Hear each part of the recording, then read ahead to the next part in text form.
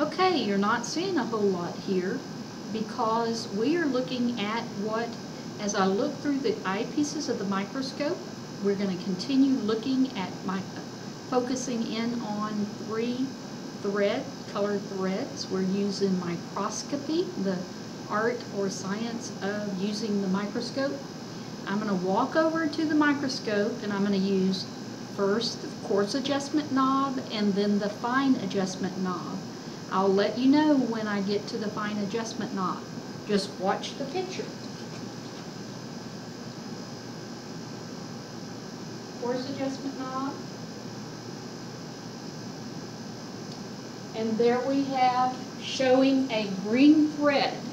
Now I'm going to go to the fine adjustment knob and notice the focus on those three threads.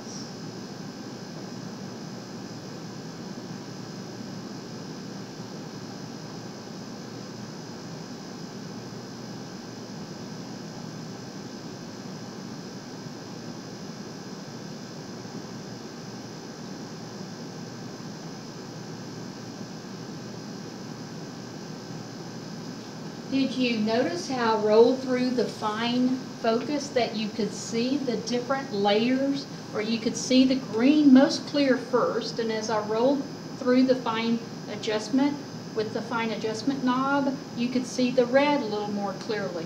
I never could get the yellow real focused. Now what you're looking at is a overhead screen and so you're not going to see the best picture. If you were using the microscope yourself, it would be an excellent picture. Okay, so as I, it is parfocal. We got it the best focus we could with the coarse adjustment knob, and then we used the fine adjustment knob to get it most clear. And sometimes you're going to be looking at specimens that are thick, but yet transparent where the light can come through it. And then if you use your fine adjustment knob, you should be able to see through the different layers of that thicker specimen as long as the light can shine through it. Okay, I'm going to pause here and go to the letter E next.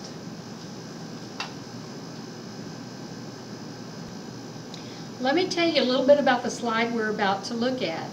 As I look at the slide and at the label, it says letter E.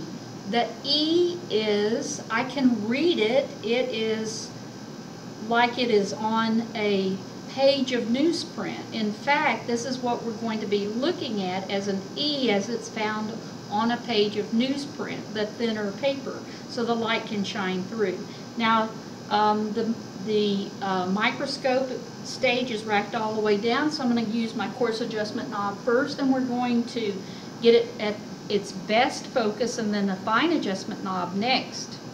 And we're going to look at it on low power and then, or we're going to look at it on scanning, then low power, and then high dry, and we'll be able to see all the fibers in the paper. Uh, the E starts out pretty large, so we're just going to see a part of it when we go to uh, low power and high dry. Now, remember that the microscope is parfocal, so we shouldn't have to do much adjusting on uh, the fine focus to see the letter E or parts of it with this microscope. Uh, we would not want to, once we get the, the scanning objective and the coarse adjustment done to the fine focus, the best focus we can, we do not touch the coarse adjustment knob again as we move to the higher objectives to the low power and high power because we don't want to crunch the slide and we don't need to. The microscope's parfocal and it's going to be in the best uh, focus with the fine adjustment knob and so let's try it.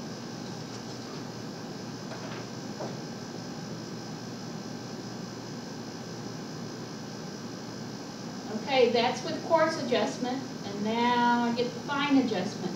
Now that's on the scanning objective. Now let's go to low power. It's parfocal, so I should not have to do much uh, uh, focusing with it.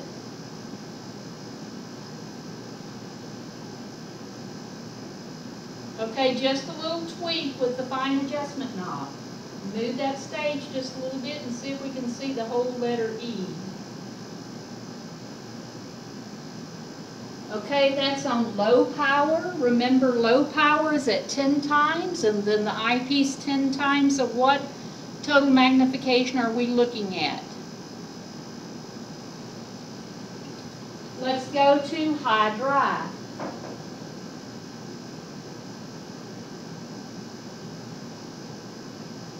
We only have to adjust just a little bit with high dry. Just tweak it just a little bit. Now I'm going to have to turn my light up just a little bit.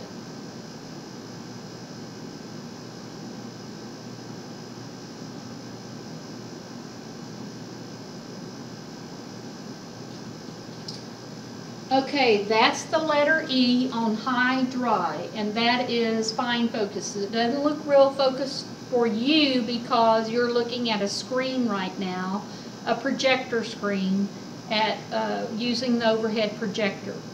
Okay, um, I had to adjust the light. Now remember I said there's a that the higher magnification is allowing only a little bit of light to come through. So on scanning, you have a larger field of view. That's what you see when you look through the eyepieces. It's called the field of view. So you're seeing all the E, a very large field of view, therefore you can get a lot of light coming through. As you go to low power, you have, it magnifies it and so you're, you have a smaller field of view. Okay, since you have a smaller field of view, there's less light coming through. And then when we go to high dry or high power, there's even less light coming through because it's even a smaller field of view. And so we have to adjust the light. Now we have to have so much light so the projector can project the image onto the screen. Uh, you would adjust that as you're looking through the eyepieces. But I just wanted you to see that and be aware that the amount of light has to be adjusted. Okay, we're going to continue talking about this letter E. It looks a little different. I'm going to go back to scanning and let's look at it again.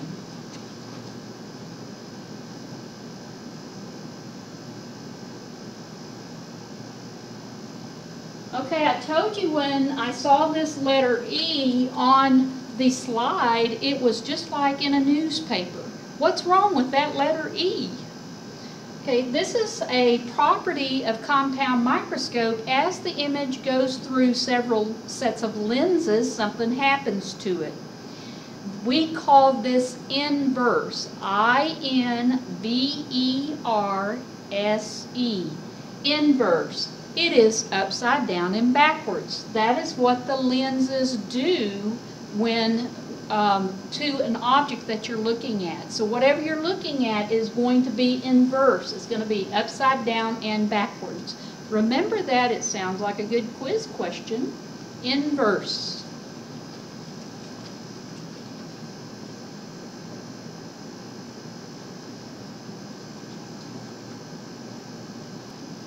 Now I am going to put this microscope up. So the first thing I would do is I would uh, go back to the scanning objective and that's where it's sitting right now. So it is safe for me to rack the stage all the way down using the coarse adjustment knob.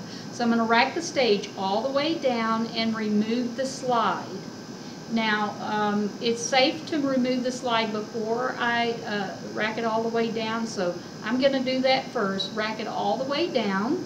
And if I were putting that microscope up, I would make sure that it is sitting with the scanning objective in place, the shortest objective, and the stage all the way down. And um, uh, the light is turned off, the plug and unplug, wrap the plug up, carry it again with two hands, a hand under the base and one holding the um, handle in the arm at the back of the microscope to carry it back to the cabinet.